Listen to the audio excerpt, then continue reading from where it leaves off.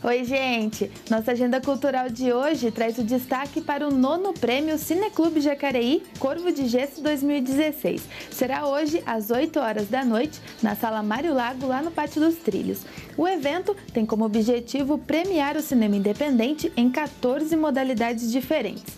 Este ano concorrem à premiação 42 produções. O evento é aberto ao público, vale a pena prestigiar.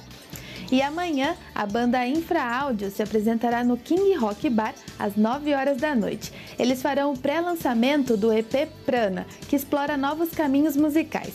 Com mais de meia década de estrada, a banda tem se destacado no meio alternativo com composições baseadas em estudos sobre a música contemporânea. Vale a pena conferir.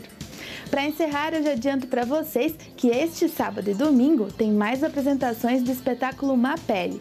Dessa vez, o grupo 4 na Rua 8 se apresentará no MAVE às 8 horas da noite. Má Pele conta a história de quatro crianças internas do Preventório, filhas de pais ranceníacos e internadas pelo governo do começo do século XIX. A entrada é franca, não percam. Hoje eu fico por aqui. Um ótimo dia para vocês e a gente se vê amanhã. Tchau, tchau.